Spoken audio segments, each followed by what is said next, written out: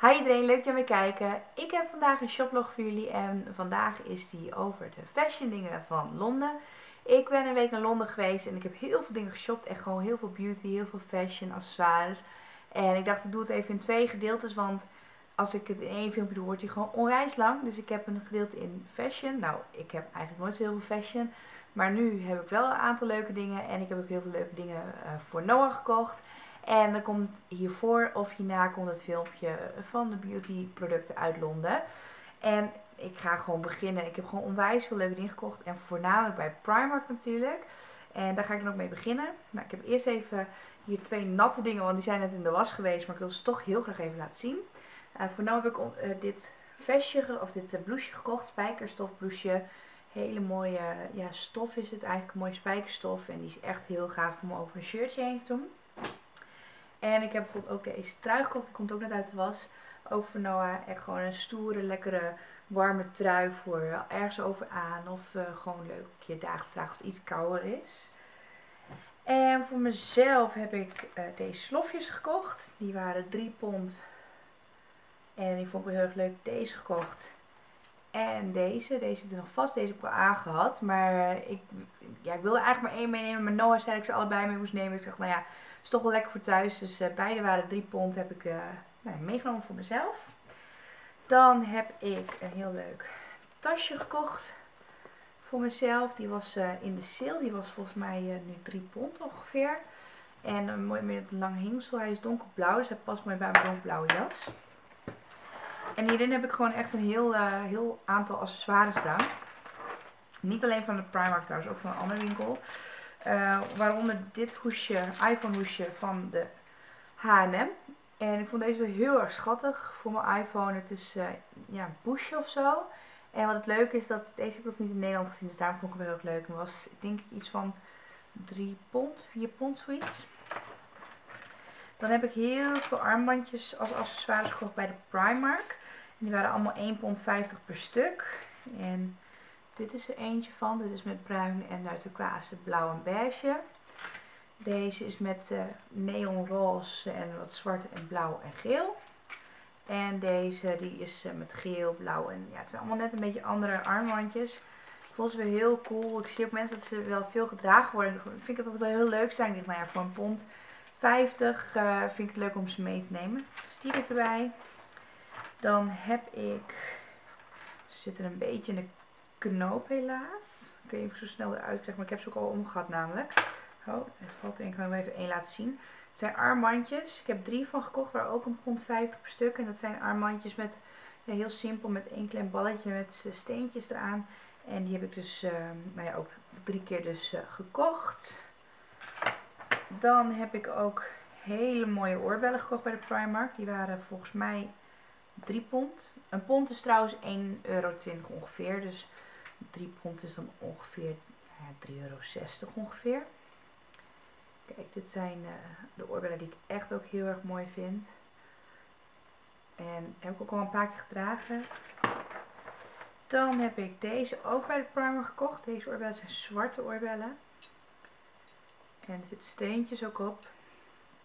En uh, ja, ik vond ze heel gaaf om dan zo te dragen. Ook omdat ik blond haar heb, dan is het wel leuk om een keer wat zwarts uh, erbij te hebben. Dan heb ik nog een ketting gekocht. Eigenlijk hetzelfde als de armbandjes. Dus ook gewoon een simpel kettingje met een uh, ja, mooi balletje eraan. Dus die kan heel simpel gewoon mooi hangen. En die was ook iets van 3 pond of iets dergelijks. Dus was ook erg leuk. En dat waren de accessoires die hierin zitten.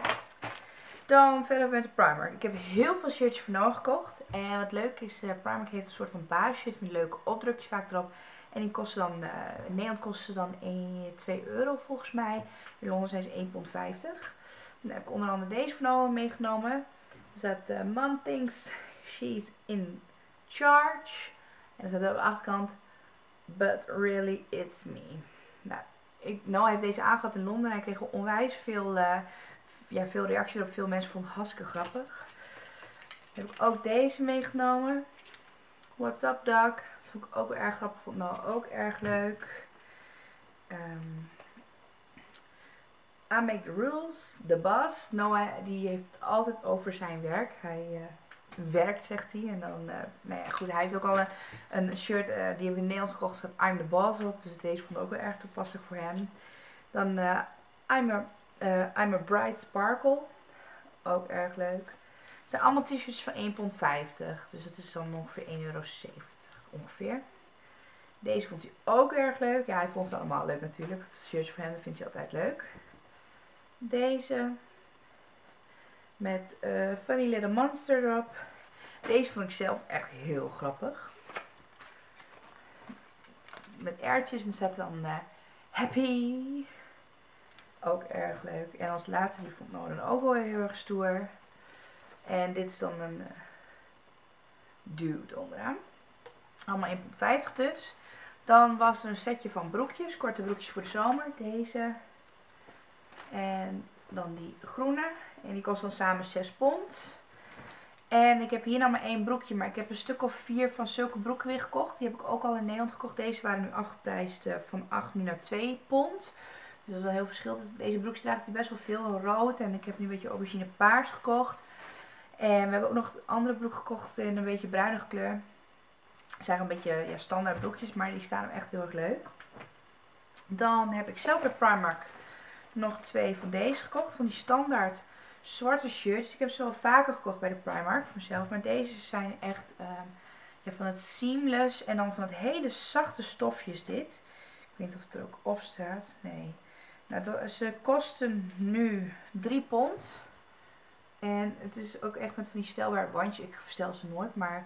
En ja, ze zijn heel stretchy. Ik weet niet of je dat kan zien. Dus ik, ja, het is echt zo lekker zacht spul. En dat vind ik altijd fijn om ergens onder een shirtje aan te trekken. Zodat alles uh, mooi lijkt.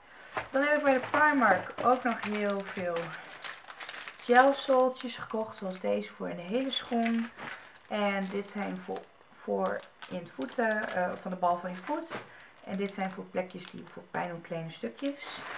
En ik denk dat alles is... Oh nee, bij heb ook nog deze gekocht. Zo'n bril voor mezelf. Deze voor een pond. En ook een zonnebril voor Noah. Kleintje. En een zonnebril voor Robert. Blauwe. Ze waren allemaal een pond. En ja, waarom we de zonnebril gekocht hadden, het was uh, eigenlijk heel erg mooi weer in Londen dat we er waren. Elke dag scheen de zon en was het bijna strak blauwe lucht en met een paar wolkjes misschien. Dus het was echt super veel zon en dat hadden we totaal niet verwacht. Want ja, februari Londen, dan verwacht je toch vaak wel een beetje druilig weer, een beetje grauw. En, maar we hebben totaal dat weer niet gehad. Het was super mooi weer. En daardoor hadden we zoiets van, nou, toch even een zonnebril kopen. Omdat het wel erg uh, fijn is om dan af en toe een zonnebril op te hebben als je nee, ergens loopt. Dus daar hebben we deze zonnebril dus gekocht. En wat ik al zei, allemaal een pond per stuk. En dat is alles nog niet. ik dacht dat ik alles heb gehad, maar nog steeds niet. Dit is het allerlaatste wat ik bij Primark gekocht heb. Nou ja, we hebben ook nog spullen voor rood gekocht. Zoals riemen, uh, twee broeken, uh, truien en schoenen. Maar goed, dat, ik niet dat het niet echt interessant om te laten zien. Maar ik denk dat jullie Noah spullen leuk vinden dan Robert spullen. Maar goed, deze tas heb ik nog voor mezelf gekocht. Deze was volgens mij 10 pond en een bijpassend portemonnee was volgens mij 5 pond. En ik vond het wel erg leuk om weer een bijpassend iets te hebben. En ik heb hem in Londen al bijna elke dag gehad als handtas mee. Hij is onwijs fijn om gewoon zo te dragen. Nou, er zit een lang koord aan waardoor je hem ook heel makkelijk gewoon over je hoofd kan dragen. En ja, hij is niet super groot of zo, maar er zit wel onwijs veel ruimte in. Dus er past echt heel veel in. En portemonnee is eigenlijk hetzelfde principe als wat mijn portemonnee is die ik nu heb. Die heb ik ook twee jaar geleden in Primark in Londen gekocht. Het was ook wel weer leuk om een keer dan weer een tas met portemonnee in Londen te kopen bij Primark. Dat heb ik twee jaar geleden ook gedaan. Ja, het is gewoon een hele standaard uh, portemonnee. Er zit nu nog niet zo heel veel in, want dit was als het ware mijn portemonnee voor Londen. En ik heb nog mijn Nederlandse, Nederlandse portemonnee heb ik nog uh, daar. Dus moet ik even overzetten. Maar heel simpel gewoon een vak waar je uh, kleingeld in kan doen. Hier kan je papiergeld in doen. Pasjes kunnen erin, foto's, alles. Dus ja, ik vind hem super handig. Dat is dus alles wat ik bij Primer gekocht heb. Dan ben ik bij Forever 21 geweest. Ik was nog nooit, ja heel erg misschien, maar ik was nog nooit in de Forever 21 geweest. Ik heb wel eens uh, uh, op de internetsite van Forever 21 dingen besteld, maar nog nooit dus uh, daar geweest. Dus ik wil daar nu wel heel graag even kijken. Maar ik kon natuurlijk niet laten om dingen mee te nemen. Ik heb onder andere deze oorbellen meegenomen. Was weer heel schattig. Die waren nu 3 pond, 2 pond 99. En ik, waar ik echt onwijs blij mee ben, ik heb echt zo'n gave armband gevonden. En die was 5,65 pond. En dat is deze. Ik weet niet of je het zo heel goed ziet. Het is echt een beetje chunky armband met heel veel uh, kettingen als het ware aan. Heel veel schakels. Echt heel stoer. En daarbij een bijpassende ketting. Die nu vast zit aan het vastje. En deze was 6,65 pond. En die heb je dan hier zo te om. Ik vond hem echt heel erg stoer, zo bijpassend. Dus uh, daar ben ik super blij mee. Dan heb ik ook nog een andere armband. Die heb ik van rood gekregen in een heel uh, schattig doosje. En daar ben ik ook wel heel erg blij mee. Ik ben toch laatst een beetje van een chunky sieraden. En daar heb ik dus deze armband. Deze met een uh, wat dikker armband met een mooi zilveren hartje met uh, shimmertjes erin, glittertjes erin. Dus uh, die was nu afgeprijsd. Die was normaal gesproken was die 25 pond, nu voor 10 pond. Niet duur natuurlijk. Nou, dan hebben we voor Noah nog, die wilde die zo graag hebben. En die heeft hij eindelijk gekregen. Een Spider-Man pak. Het staat zo onwijs schattig. Het is echt zo stoer als hij die aan heeft. Het is dus een pak. En er zit er ook nog een masker bij. Dat is dan deze. En die kan opdoen. Nou, hij, het liefst slaapt hij erin. Het liefst heeft hij hem de hele dag aan. Dus het is echt uh, zijn favoriete ding uit Londen. En dan als laatste ben ik bij de winkel geweest uh, waar ik echt zo onwijs blij mee ben. Ik, uh, ik vind het altijd jammer dat bij Primark kan ik eigenlijk nooit kleding kopen. Omdat ja, de grootste maat mij toch nog te klein is. En ik heb eigenlijk nergens in Londen grote maatwinkels gevonden. Zoals hier in Nederland heb je Miss Etam of M&S Mode of noem maar op. Of hebben ze wel bij veel winkels tot grote maten. Hebben ze in Londen echt bijna nergens. In ieder geval niet dat ik weet. Als jullie het weten, uh, laat het me even weten. Want dat vind ik wel heel fijn als ik een vond in Londen ga. ik er naar kijken. Maar uiteindelijk vond ik uh, twee of drie winkels naast de Primark vond ik ineens een grote matenwinkel. We reden er s'avonds met de bus langs, terwijl ik al wel tien keer er voorbij was gelopen. En toen viel ineens mijn oog op paspoppen die groter waren. Paspoppen die groter waren. Ik keek zo, nou, dat moet haast wel een grote maatwinkel zijn. Ook omdat ze heel duidelijk op borden hadden staan dat ze dus grote maten schoenen hadden. En bredere vreven en kuitmaat en dat soort dingen. Dus ik dacht, daar moet ik heen. Dus de volgende dag direct heen gaan. Nou, hadden ze nog een gedeelte sale. Waardoor ik een broek heb gekocht. Nou, het, ik kan nu echt heel goed laten zien. Want uh, het is gewoon een grote lange broek. Hij is gewoon zwart, een nette pantalon. En uh, die was normaal gesproken ik weet niet, volgens mij heb ik kaartje al eraf. Maar volgens mij was hij normaal gesproken 30 pond. Of 35 pond zelfs. En hij was nu 10 pond. Dus dat vond ik niet duur. 12 euro voor een hele nette broek. En wat het fijne is aan deze broek is dat hij onwijs lang is. Ik heb best wel lange benen. En bij mij is het vaak zo dat uh, na een keer wassen van de broek, dat mijn, de broek mij meestal te kort zijn. Ik kan nooit lang genoeg een broek vinden. En deze was echt onwijs lang. Nou, waar ik ook onwijs blij mee was, is dat ze daar heel veel grote maten BH's verkopen. Nou, nu ga ik niet heel flashy, flashy uh, heel uh, mijn BH's uitgebreid doornemen. Ik wil ze toch heel kort even laten zien. Ik heb uh, voor alle BH's heb ik 10 pond betaald. Terwijl ze normaal gesproken, ik weet niet of dat hier ook op staat. Even kijken, even snel een stickertje weghalen voor de prijs. Deze kosten normaal gesproken 32 pond. Nou, dan zullen ze allemaal ongeveer rond de 32 pond zijn geweest. Deze was zelfs 39 pond.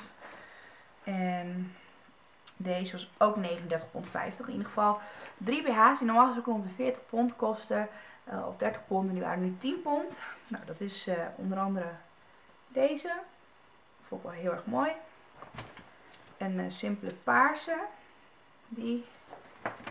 En deze paars met zwart. En ik moet zeggen dat voor grote maat zijn het echt hele mooie BH's. Want vaak is het zo dat als je een grotere cup hebt of een grotere maat hebt, dan wordt het vaak alleen maar zwart en wit en saai en gewoon uh, iets waar je, waar je borst in omhoog kan houden en that's it. Dus ik was wel heel blij dat ik gewoon mooie BH's kon vinden daar. Nou, en mijn allerfavorietste aankoop, of allerfavorietste klinkt maar mijn, echt mijn aankoop waar ik het meest blij mee ben en waar ik het langst over getwijfeld heb en waar ik zelfs tot drie keer toe terug ben in de winkel ben gegaan, maar uiteindelijk toch mee heb genomen, zijn uh, deze laarzen. Ik ben er zo onwijs blij mee. Ik zag ze, ik heb ze gepast. En uh, ik heb nooit zulke hoge hakken aan. Ik heb uh, twee jaar geleden mijn inkelbanden gescheurd in Londen. en sindsdien durfde ik, durfde ik, ja, trok ik nooit mijn hakken aan. Maar ik zag deze en ik had ze aan en ze stonden zo mooi. En zeker als je ze ook nog zo, er zit een mooi bondje binnen, dus je kan ze eventueel zo omslaan. En dan heb je het zeg maar nou, een beetje zo zitten. Ik vond ze zo gaaf. En ja, toen ik twijfelde en twijfelde. Mijn moeder nog uh, berichtjes gestuurd, wat moet ik doen, moet ik doen. Ze zei van, je moet ze 10 minuten aantrekken. Als ze dan pijn doen, dan moet je ze gewoon niet doen. Nou, ik de volgende dag weer aan doen en ik, ja, ik voel ze wel, maar ik, ik kon het gewoon niet laten. Ik weet gewoon dat als ik ze niet had meegenomen, dat ik spijt zou krijgen. Dus toch meegenomen. Ik ben er super blij mee. Ze kosten uh, 90 pond. 89,50. Dus uh, echt mooie laarzen. Ik ben super blij mee. Ze vallen echt heel groot. Ik heb best wel dikke kuiten, maar ze vallen echt heel mooi ruim eromheen. Dus ik ben daar super blij mee. En uh, dus dat is echt mijn favoriete aankoop van, uh, van dit keer shoppen en vakantie in Londen. En dat is alles wat ik aan fashioningen gekocht heb. Echt onwijs veel natuurlijk weer. Fashion, accessoires, dingen. Ik hoop dat jullie het leuk vonden. En ik wil je bedanken voor het kijken. En tot de volgende keer. Doei!